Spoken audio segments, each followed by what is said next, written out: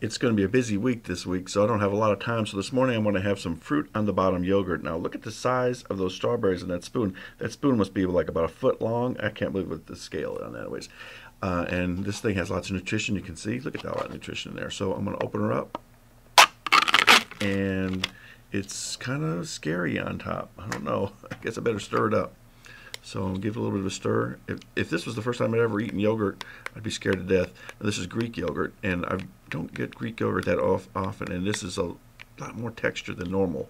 Um, I'm not a big fan. You really got to stir this up good to not make it so doggone scary. And there's like no strawberry. You see how you, when, on the picture, I pick it up, and you, you, there's no strawberries anywhere in that. There's like, it's strawberry mush. It's not strawberries, so misleading. Mm. Now, it tastes okay. It's not great yogurt. Um, I think I'd rather have the Dannon. Uh, this is uh, Dannon, but this is this Greek. Fruit on the bottom. Not so good.